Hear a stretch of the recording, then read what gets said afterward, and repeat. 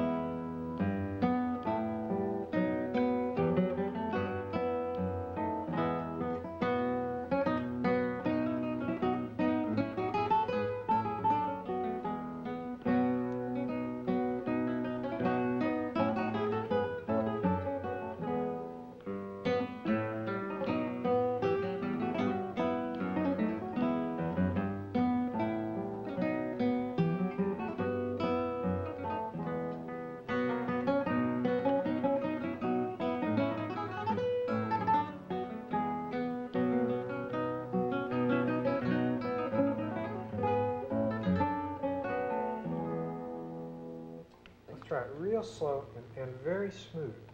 You know, almost, almost too smooth. And then the second time, well, really bounce. Yeah, really like a plain chant. Right. I think that's a, maybe, a maybe that's good way of thinking of it.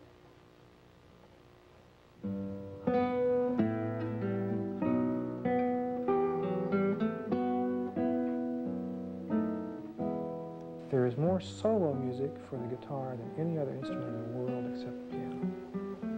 There is not a fair-sized body of masterworks for the guitar. Um, I think almost every player experiences those moments of genuine envy and almost um, almost disgust when he sees the repertoire of the piano. You know, um, we have no Brahms. We have no Schubert, Schumann, Mendelssohn, Chopin. Can you imagine? As far as I'm concerned, I consider um, transcription one of the uh, most uh, valid and uh, most traditional activities of a musician. If we look at the great musicians uh, of the past, transcribing uh, sometimes just flat stealing was, was a very revered form of learning.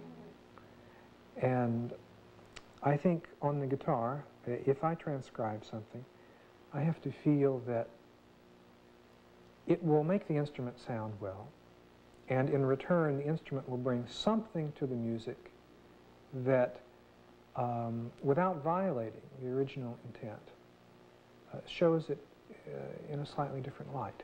A transcription has to serve the music well, and it has to sound meaningful on the guitar, not just possible.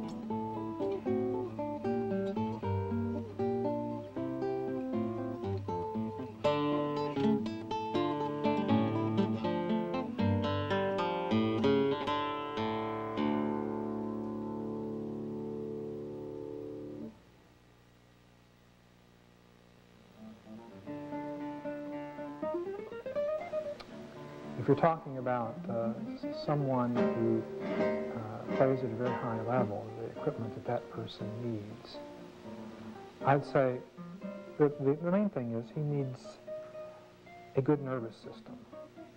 He needs lightning responses. Uh, the, the, actual contour, size, and shape of his hand is not so important. I think what you need is, um, as I say, good reactions. Uh, then you can learn to have some sort of mechanical skill, which by itself produces very little value. I think uh, he has to be creative. He has to be uh, intelligent enough to uh, want to develop something over a long period of time and not be satisfied too easily. He needs the same things that every other musician needs. Start rather soft, make a big crescendo here, come back down here, and then forte, and quite staccato here. Let's hear the, the whole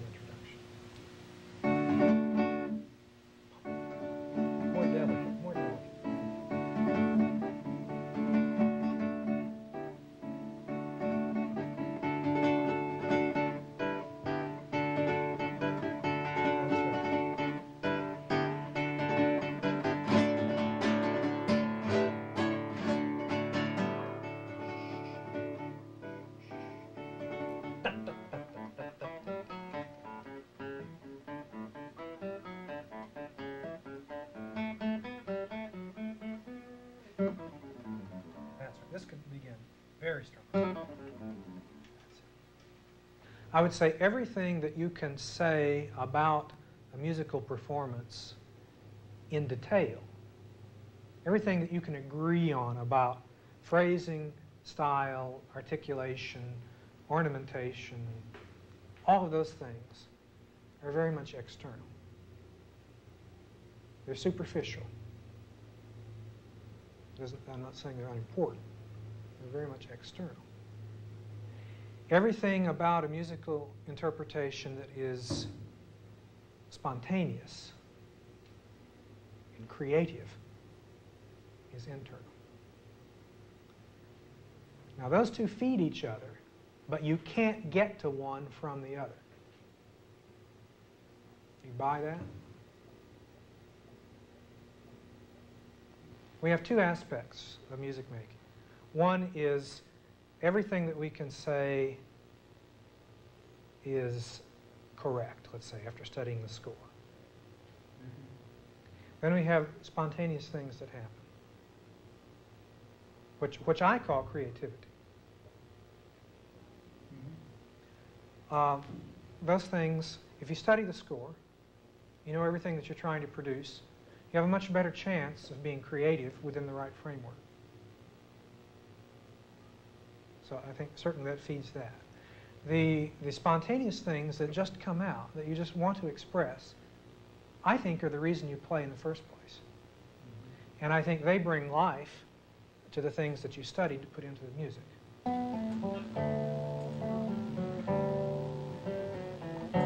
Avoid that. More.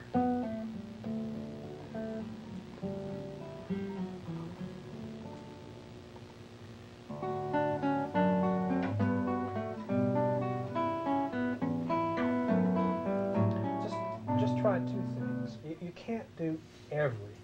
You know, if you've got a passage like this, it's difficult to play to begin with. And you've got, uh, you say, okay, I'm going to play the bass line a certain way with a certain crescendo. I've got um, two voices implied out of this compound line. I'm going to do one thing with the upper voice. I'm going to do a different thing with the middle voice. Uh, pretty soon you're going to get to the point where you can't play at all. You know, just too much to balance. So let's try doing two things. One, bring out the middle voice as much as you can. Two, play legato.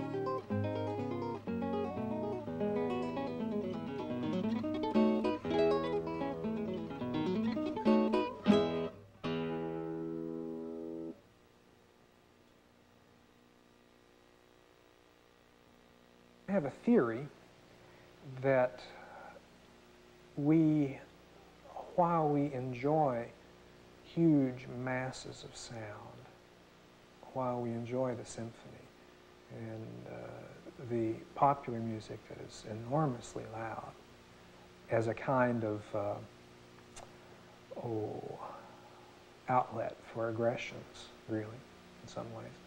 I think people also have a, a, very profound need for something as intimate as possible at the other extreme.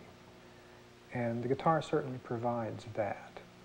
There's a directness of communication there. People have a need for that.